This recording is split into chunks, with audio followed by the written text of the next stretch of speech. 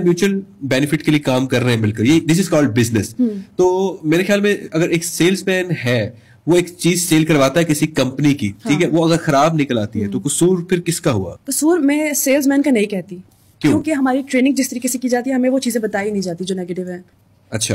हाँ उसके बाद जब हमें पता चलता है खुद आहिस्ता आहिस्ता जब हम इस फ़ील्ड में आते हैं दो तीन चार पाँच महीनों बाद पता चलता है हमें कि यार शिट हम तो ये क्या कर रहे थे? हमें नहीं पता था कि हम फ्रॉड सेल कर रहे थे। अच्छा लेकिन अब बीइंग रिस्पॉन्सिबल पर्सन सिटीजन आप कोई कंपनी ज्वाइन कर रहे हैं उसकी एक रेपुटेशन होती है एक पास्ट रिकॉर्ड होता है ना आप देखते हैं कि यार ये कंपनी ऐसी ऐसी ऐसी।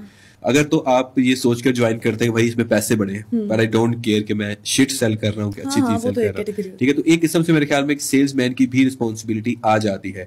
इसके पीछे ना एक्सटेंसिव किस्म की जो है रिसर्च इन्वॉल्व होती है हाँ, राइट हाँ। तो वो हर बंदा नहीं कर सकता। सो डेफिनेटली जो है ना वो एक मुहावरा है बोटी पीछे बकरा लाल करना। तो आमतौर पर जो इन्वेस्टर है ना वो मारा जाता है कमीशन के चक्करों में कि एक सेल्स पर्सन के कमीशन के चक्करों में पूरी पूरा बकरा हलाल हो हाँ। हाँ जाता है बकरा भी कहते हैं। आप बकरा बोलते हैं? क्लाइंट को लिटरली बकरा बोलते हैं। क्लाइंट को बकरा बोलते हैं। Ouch don't cancel me please पर हाँ बोला जाता है बकरा आ रहा है सूर्य तेज कर लो यार। अच्छा चलिए तेज कर लो बकरा हाँ। अच्छा।